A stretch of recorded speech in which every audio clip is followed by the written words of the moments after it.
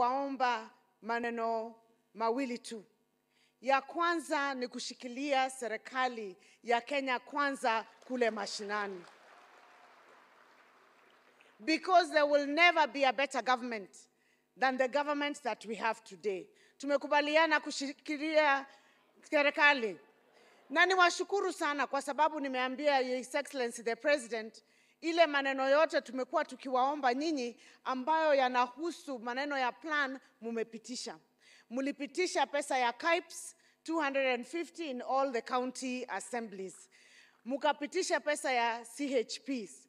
Mukapitisha pia hata land Sasa ile tumewaomba Your Excellency that we give the lands to the national government so that they can build the low-cost housing and for EPZ and SEZ. There is not a single of these county assemblies that has refused to pass.